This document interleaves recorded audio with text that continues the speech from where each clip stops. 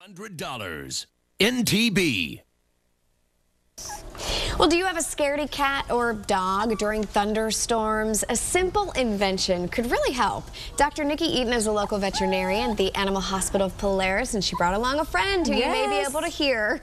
this is Barkley. Barkley is adorable. Tell us about Barkley. Barkley is a four-month-old Papillon that came into our practice, and um, he didn't have a home last night. From what I understand, though, this morning he does have a home. Oh, so, good. yep, very good. He is just a little baby. Yes, he is. This is live TV, so we're gonna we're gonna try this yes. the best that we can.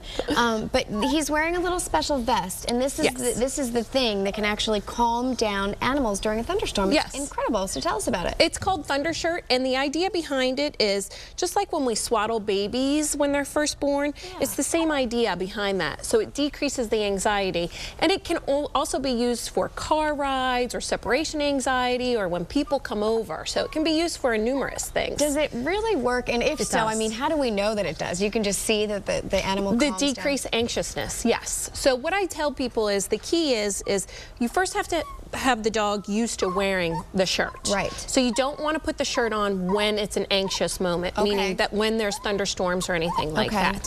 So what you do is... Now, is that for the first time or you just mean in general? In general. So because if you know that there's going to be a storm, you should put it on beforehand. Before, because you don't want to associate this with, with, any anxiousness that they may have. Oh, okay. So what you do is when you get the thunder shirt, and what we do with our clients is we actually uh, will place it on the pet for the owners and show them how to do it. Okay. But it's Velcro, really easy. It's Velcro. mm -hmm.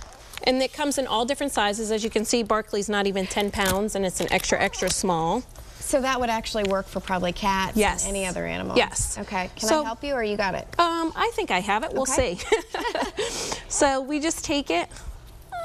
Barkley. Oh. Barkley's a puppy. He likes to chew. So I'm just going to wrap it right just around his around little neck. neck. I know, Bark. I have your treats over here, Barkley. Here, Bark. Want a treat? Want a treat? Here. There we go. Let's concentrate on that. And That's it just right. goes around underneath. Underneath, just like this. Okay. That's pretty simple. So where do you find these? Where can you buy them? Um, some of the pet stores have it. Mm -hmm. um, we have it because we feel it's such an important thing for our anxious pets. Yeah. So um, it costs about $40, so it's not expensive. Okay. Um, people will see a difference in the first use, but over three or four uses, you see more um, if it doesn't work, there are behavior modifications that you can do I was just going to say, what, what else can you do along with that to, to calm down a pet? Um, there's some behavior modifications that we do. I would yeah. say that when we see an anxious pet and we put a thunder shirt on them, it takes care of 80% of the cases, but there's 20% of pets it doesn't.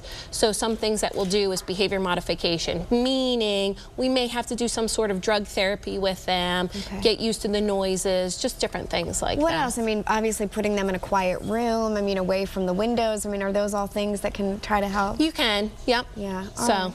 Yes. Well, thank you for but being it works such great, a good so. little demonstrator. Oh my gosh, that face is just adorable. Dr. Nikki Eaton, thank you so much. Thank you for having me. It's a pretty me. neat invention. Do they make them big enough? Because Lisa is a big yes. dog. They, they have them extra, sizes. extra large, so a Great Dane can fit into it too. Okay, not quite a Great Dane, right? Yeah, and Scooter's a weather dog, so he's all right. Oh, good. He love. I'm thinking of several adults I know who could use a Thunder vest. New and improved.